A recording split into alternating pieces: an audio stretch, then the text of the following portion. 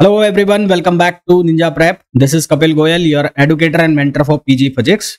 तो Savitribai Phule university Pune का UG entrance exam और पीजी एंट्रेंस एग्ज़ाम दोनों ही प्रपोज्ड है जून के अंदर. जून 14 से लेके 16 तक ये एग्जामिनेशन होने वाले हैं. इसकी ऑलरेडी इंफॉर्मेशन मैं आपको प्रोवाइड करा चुका हूँ. जब इसका नोटिफिकेशन आउट हुआ था तभी मैंने इसका एक वीडियो कर दिया था. काफ़ी दिनों से बच्चों के व्हाट्सएप पर भी और इसके अलावा जो मैंने वीडियो किया था, उस पर भी कमेंट आ रहे हैं कि, सर, जो इसकी प्रिपरेशन स्ट्रेटजी है, वो क्या रहे? इसके जो एग्ज़ाम पैटर्न है, उसके बारे में कुछ बता दीजिए, इसका सिलेबस कहाँ से मिलेगा? इसके अलावा इसके अगर प्रीवियस ईयर क्वेश्चन पेपर है तो वो कहाँ से अवेलेबल होंगे? तो थोड़ा बहुत इस पार्ट के ऊपर भी हम डिस्कशन करेंगे। साथ ही साथ हम ये भी जानेंगे कि लास्ट 15 डेज़ में आपकी क्या स्ट्रेटजी होनी चाहिए, खासकर जो पीजी फिजिक्स के लिए एंट्रेंस एग्ज़ाम की प्रिपरेशन कर रहा है। यानी कि जो एमएससी फिजिक्स एंट्रेंस एग्ज़ाम की प्रिपरेशन कर रहा है, उसकी क्या स्ट्रेटेजी होनी चाहिए और कितने नंबर पर ये जो तुम्हारा एग्ज़ाम है, ये क्लियर हो जाएगा। तो जो भी लोग प्रिपेयर कर रहे हैं या जो भी लोग देने वाले हैं S P P U online entrance exam तो सबसे पहले मेरी रिक्वेस्ट रहेगी कि वीडियो को प्लीज़ लाइक ज़रूर कर दें। चैनल को सब्सक्राइब नहीं किया है, जितने भी व्यूअर्स हैं इस चैनल के, जिन्होंने पहले से इस चैनल को देख रहे हैं और जिन्होंने अभी तक भी चैनल को सब्सक्राइब नहीं किया है तो प्लीज़ चैनल को सब्सक्राइब ज़रूर कर दीजिए। चलिए स्टार्ट करते हैं वीडियो को। तो सबसे पहले तो हम ये जान लेते हैं कि एग्ज़ाम पैटर्न क्या रहने वाला है। हालाँकि बहुत से लोगों को पता होगा और जिन लोगों को पता है, वो इस सेक्शन को स्किप कर सकता है। और बेटर ये रहेगा कि आप इस वीडियो को 1.5x या 1.75x पे देखेंगे तो जल्दी ये वीडियो आपका कवर हो जाएगा। तो चलिए भाई, बात कर लेते हैं सबसे पहले एग्ज़ाम पैटर्न की। तो एग्ज़ाम जो है आपका टोटल हंड्रेड मार्क्स का ये एग्ज़ाम होने वाला है, जो दो सेक्शन में होगा। है ना? दो सेक्शन में ये एग्ज़ाम होगा। और एग्ज़ाम में जो पहला सेक्शन है, उसके अंदर आपके ट्वेंटी मार्क्स के क्वेश्चन आएँगे, जिसको सेक्शन ए बोला गया है। उस सेक्शन ए में जनरल नॉलेज के एप्टीट्यूड के लॉजिकल रीजनिंग के कॉम्प्रीहेंशन के क्वेश्चन होंगे। ये वो सेक्शन है जिससे आपका स्कोर बनेगा, है ना? ये वाला, वो वाला सेक्शन है जिससे आपका ठीक ठाक स्कोर बन जाएगा।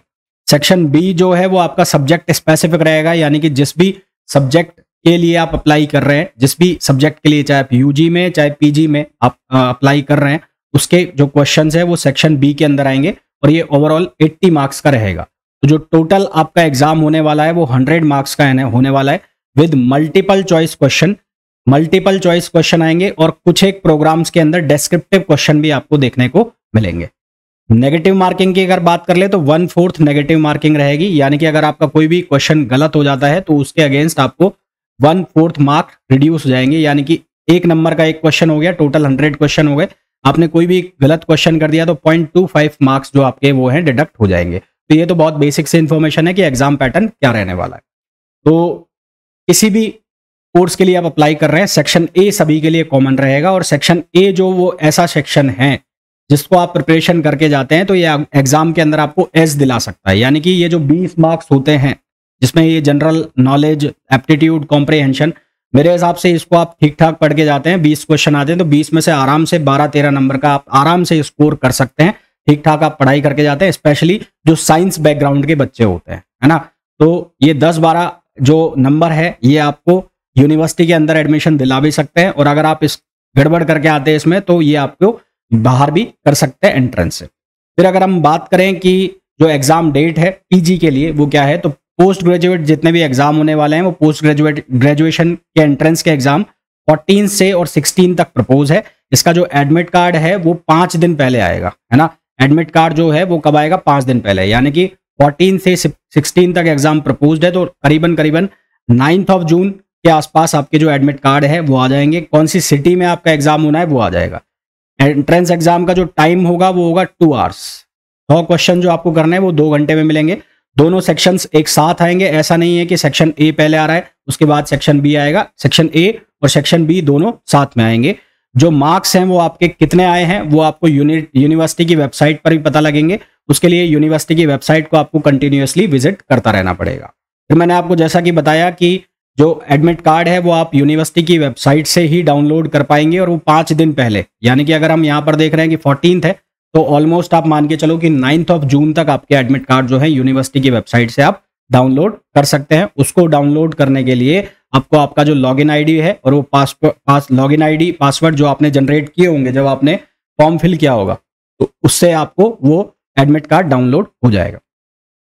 तो ये तो बात हो गई कि एंट्रेंस एग्ज़ाम का पैटर्न क्या रहने वाला है और उसके बाद जो शेड्यूल है एग्ज़ाम का वो क्या है। अब मैं ये बात कर लेता हूँ फिजिक्स के अलावा, फिजिक्स के लिए हम भी डिटेल में बात करेंगे। बाकी जो सब्जेक्ट्स हैं, उनके लिए अगर मैं बात करूँ तो मैं यही कहूँगा कि पीजी एंट्रेंस की अगर आप प्रिपरेशन कर रहे हैं तो ऐसा सिलेबस की मैं बात करूँ तो सिलेबस जो है, वो हर यूनिवर्सिटी, जो यूनिवर्सिटी का जो भी डिपार्टमेंट है। फॉर एग्ज़ाम्पल आप अप्लाई कर रहे हैं केमिस्ट्री के लिए तो केमिस्ट्री का जो डिपार्टमेंट है, उसकी जो पेज बना हुआ है, पुणे यूनिवर्सिटी केमिस्ट्री डिपार्टमेंट का जो पेज बना हुआ है, वहाँ पर इसका सिलेबस आपको मिल जाएगा। हालाँकि सिलेबस बहुत डिटेल्ड सिलेबस नहीं है। उसमें केवल सिर्फ़ इतना लिख दिया गया है कि ये ये ये सब्जेक्ट आएँगे। उनके अंदर क्या पूछा जाएगा ऐसा कुछ वहाँ पर मेंशन नहीं है। ठीक है?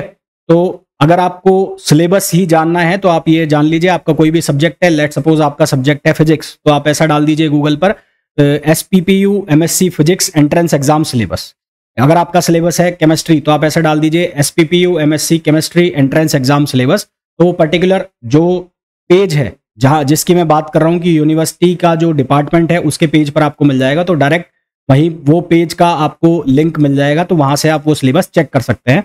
जैसा कि मैंने कहा, बहुत डिटेल्ड सिलेबस नहीं है, केवल और केवल सब्जेक्ट्स मेंशन है कि ये ये सब्जेक्ट आने हैं, उनका वेटेज कुछ भी नहीं है। हालाँकि ये बड़ा खराब लगता है मेरे को कि जब आप एंट्रेंस एग्ज़ाम ले रहे हैं तो एटलीस्ट आपको सिलेबस प्रोवाइड कराना चाहिए।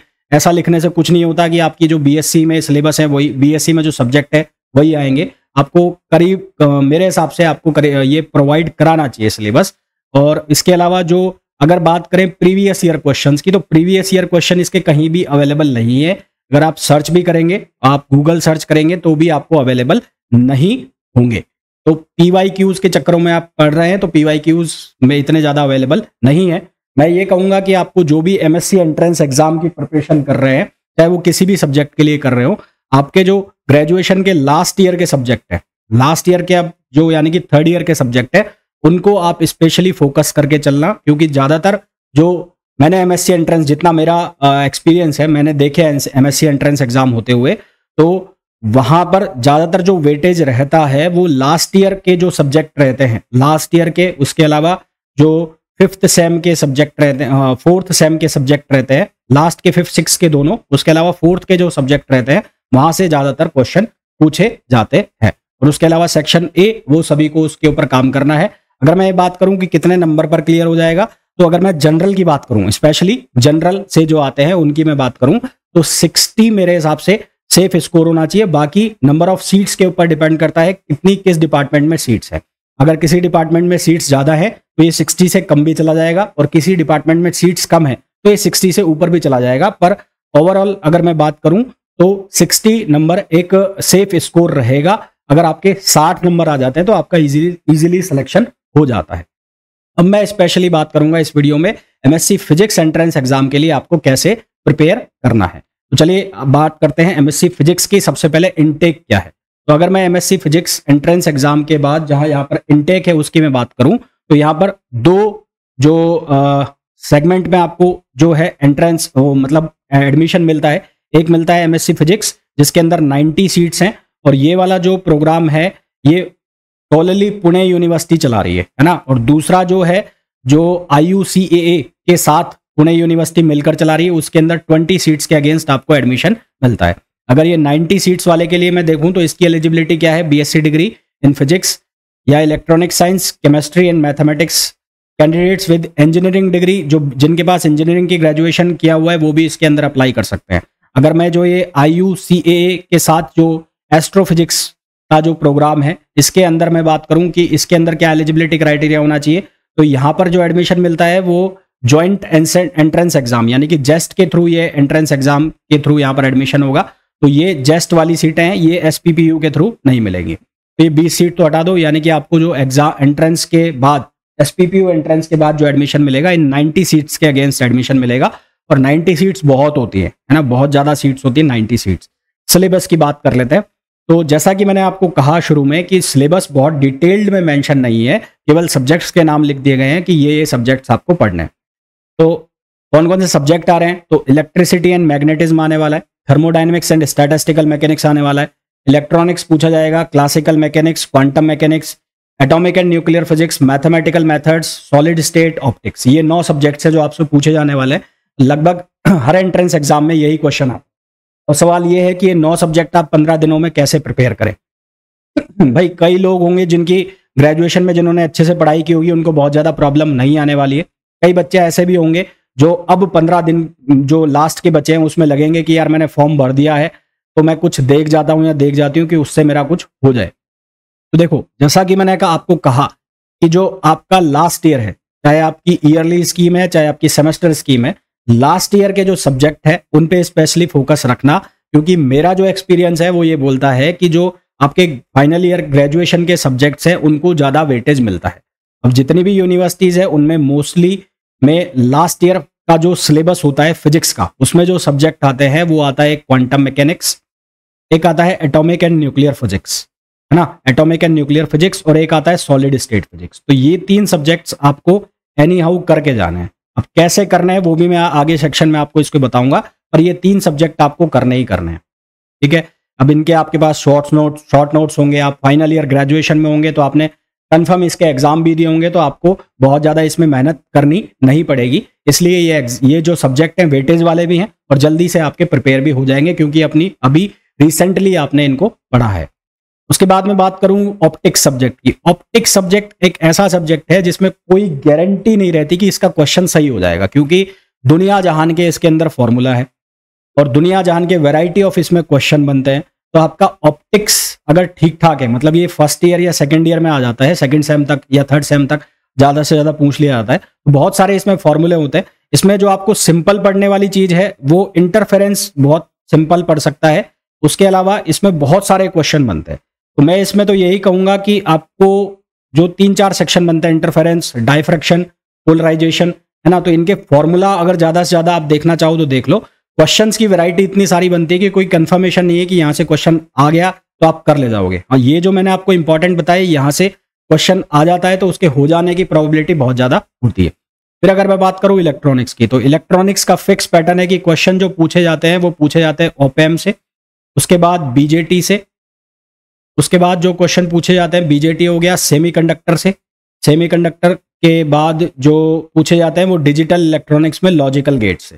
डिजिटल इलेक्ट्रॉनिक्स में लॉजिकल गेट से है ना? ये फिक्स क्वेश्चन है यहाँ से पूछे जाते हैं। सेमीकंडक्टर के अंदर जीना डायोड भी इंक्लूड है और उसके अलावा जो आ, ये आपके जीना डायोड के अलावा इसमें जो half wave rectifier full wave rectifier के फॉर्मूला है वो भी पूछ लिए जाते हैं। उसके अलावा अगर आपको ज़्यादा ही प्रिपेयर करना है इलेक्ट्रॉनिक्स के अंदर तो आप ज़्यादा से ज़्यादा जो नेगेटिव फीडबैक एम्पलीफायर है, उसके फॉर्मूला देख सकते हैं। बहुत आसान से, आसानी से इसके फॉर्मूला वगैरह सब आपको प्रिपेयर हो जाते हैं। बहुत ईजी क्वेश्चन इसके आते हैं। थर्मोडाइनमिक्स एंड स्टैटिस्टिकल की मैं बात करूँ तो थर्मोडाइनमिक्स में अगर आपको कुछ प्रिपेयर करना है तो वो आप प्रिपेयर करना कार्नोट साइकिल कार्नोट साइकिल के जो क्वेश्चन है, वो लगा लेना। सेकेंड लॉ की जो एफिशिएंसी के क्वेश्चन है फॉर्मूला है, उनको कर लेना। स्टैटिस्टिकल मैकेनिक्स में जो तीन आपकी स्टैटिस्टिक्स चलती है। बो साइंसटीन स्टैटिस्टिक्स फर्मी ड्राइक और उसके अलावा जो मैक्सवेल बोल्ड्समैन स्टैटिस्टिक्स पढ़ती है, चलती है। इनके आप बेसिक जो कॉन्सेप्ट हैं, वो पढ़ लेना कि कौन सी स्टैटिस्टिक्स किसके लिए अप्लाई होती है और किसके लिए स्पिन कितना होता है इंटीग्रल फार्मूला और ये सब इनके देख लेना। बस इससे ज़्यादा इसमें कुछ नहीं आने वाला। तो थर्मोडाइनमिक्स में डिग्री एक कार्नोट साइकिल मैंने आपको बोला के और स्टैटिस्टिकल मैकेनिक्स के जो बेसिक्स हैं, बिल्कुल बेसिक्स वो पढ़ लेना, वहीं से क्वेश्चन बनते हैं। इलेक्ट्रिसिटी एंड मैग्नेटिज्म बहुत वास्ट सब्जेक्ट है। इसको कैसे प्रिपेयर करना है, वो भी मैं आपको बताऊँगा। उसके अलावा मैथमेटिकल मेथड्स एंड फिजिक्स में आपको क्या क्या प्रिपेयर करना है, इसमें आपको कॉम्प्लेक्स कॉम्प्लेक्स नंबर जो है, वो आप प्रिपेयर कर लेना। उसके अलावा आप डिफरेंशियल इक्वेशन डिफरेंशियल इक्वेशन और जो वेक्टर एल्जेब्रा होता है डिफरेंशियल इक्वेशन वेक्टर एल्जेब्रा ये तीन चीज़ें आप प्रिपेयर कर लेना। मैट्रिक्स अगर आप कर सको तो वो प्रिपेयर कर लेना।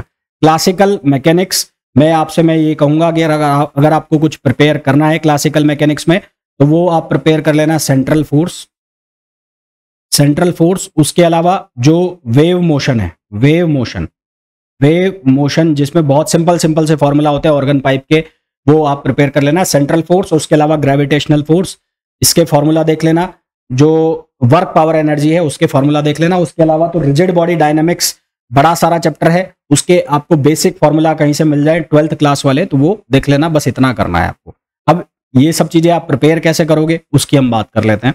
तो मेरे चैनल पर आपको पुरानी प्लेलिस्ट मिल जाएँगी। ये प्लेलिस्ट हालाँकि सी यू पीजी एग्ज़ाम के लिए मैंने बनाई हुई है आई जैम के लिए भी है तो इनमें बहुत सारे आपको प्रैक्टिस क्वेश्चंस मिल जाएँगे। क्वेश्चन तो क्वेश्चन ही रहते हैं, चाहे वो एस के हों, चाहे वो सी यू पीजी के हों और चाहे वो किसी अलग यूनिवर्सिटी एंट्रेंस एग्ज़ाम के हों।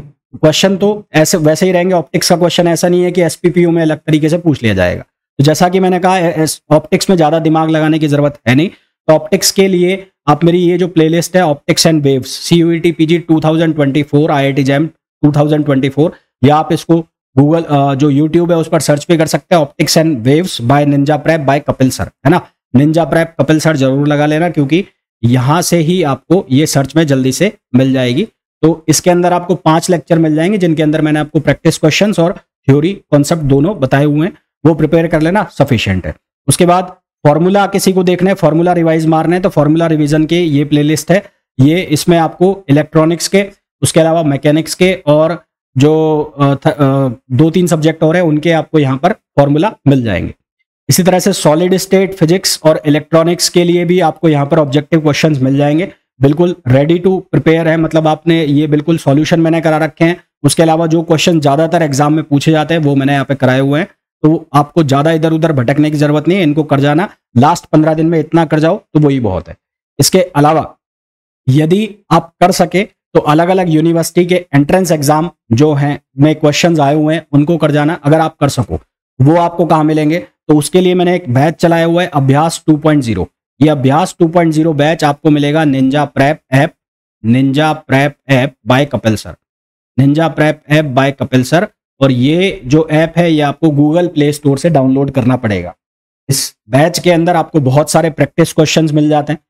उसके अलावा आपको बहुत सारी यूनिवर्सिटीज के पी वाई क्यूज में मिल जाते हैं। लाइक आपको जामिया मिलिया के पी वाई मिल जाएँगे ए एम यू के पी वाई मिल जाएँगे। उसके अलावा M D U Rohtak Punjab University Chandigarh, है ना? डिब्रूगढ़ यूनिवर्सिटी राजस्थान यूनिवर्सिटी शीपैट ओडिशा, इन सभी के आपको पी वाई क्यूज भी अवेलेबल हो जाते हैं। तो अगर आप कर सकते हैं पी वाई क्यूज वगैरह प्रिपेयर कर सकते हैं तो उसके लिए आप अभ्यास 2.0 बैच जो है वो ज्वाइन कर सकते हैं। ये बैच कैसे ज्वाइन करना है मैंने आपको ऑलरेडी बता दिया है। लिंक आपको डिस्क्रिप्शन में भी मिल जाएगा। इस बैच का जो प्राइस है वो केवल सत्रह सौ रहने वाला है। फिर तो वापस से मैं बात करूँ यूट्यूब से और मैं आपकी क्या हेल्प कर सकता हूँ।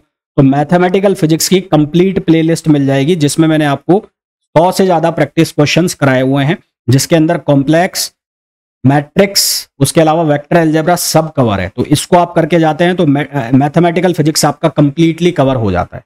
मॉडर्न फिजिक्स के चार लेक्चर आपको मिल जाएँगे, जिनके अंदर प्रैक्टिस क्वेश्चंस आपको मिल जाएँगे मॉडर्न फिजिक्स के। ईएमटी e की मैं बात कर रहा था तो ईएमटी e के लिए ये वाली जो प्लेलिस्ट है, जादवपुर, कैलकाटा और एमएससी फिजिक्स एंट्रेंस 2023 के नाम से। इस प्लेलिस्ट के अंदर आपको जितने भी लेक्चर्स मिलेंगे, वो सारे के सारे ईएमटी e के मिलेंगे और ईएमटी के प्रैक्टिस क्वेश्चन है उनके अंदर। उनको आप करके जाते हैं तो आपकी डैम श्योर एग्ज़ाम के अंदर बहुत ज़्यादा हेल्प होने वाली है। फिर अगर हम बात करें कि आपको मोस्ट इंपॉर्टेंट क्वेश्चन चाहिए कि, सर, मेरे पास तो इतना भी टाइम नहीं है, बहुत ज़्यादा बिज़ी हो तुम लोग तो मेरे पास इतना भी टाइम नहीं है कि मैं ये सब कर सकूँ जो आप बता रहे हैं। आप तो मेरे को मोस्ट इंपॉर्टेंट क्वेश्चन बता दो कि कहाँ से करूँ? तो ये जो प्लेलिस्ट है, जो कि C U T PG 2023 C U T PG physics most important question नाम से बनी हुई है। इसके अंदर आपको हर सब्जेक्ट के करीबन 100 सौ क्वेश्चन मिल जाएँगे, जो कि सब्जेक्ट स्पेसिफिक है। ज़्यादातर इसी टाइप के क्वेश्चन एग्ज़ाम में पूछे जाते हैं तो इसको करके जाते हो तो बहुत अच्छी खासी हेल्प हो जाती है। रैपिड रिवीजन करना है, कुछ सब्जेक्ट्स रिवीजन के लिए आपको इस यहाँ पर भी मिल जाएँगे फॉर्मूला पहले भी बताया मैंने, और इसमें भी आपको बाकी के रिमेनिंग सब्जेक्ट्स हैं, वो मिल जाएँगे, यहाँ से भी अपने फॉर्मूला रिवाइज कर सकते हैं। पार्ट ए की बात कर ले तो पार्ट ए के लिए जो रीजनिंग है और जो मैथमेटिकल एप्टीट्यूड है, उसके क्वेश्चन आपको इस प्लेलिस्ट के अंदर मिल जाएँगे। तो किस तरह से आपको प्रिपेयर करनी है, मैंने आपको बता दिया है। ऐसे एग्ज़ाम के अंदर किसका क्या वेटेज रहेगा ऐसा कुछ मेंशन नहीं है।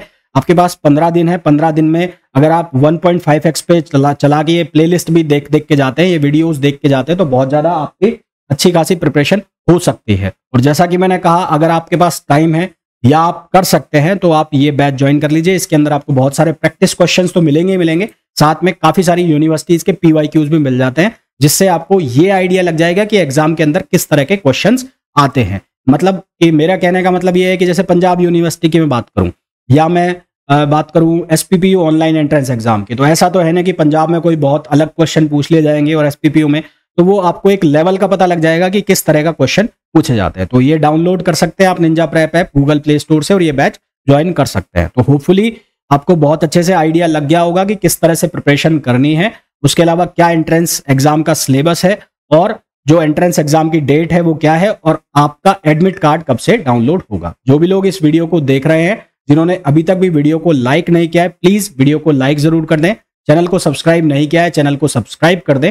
और शेयर ज़रूर कर दें मिलते हैं नेक्स्ट वीडियो में। Till then thank you bye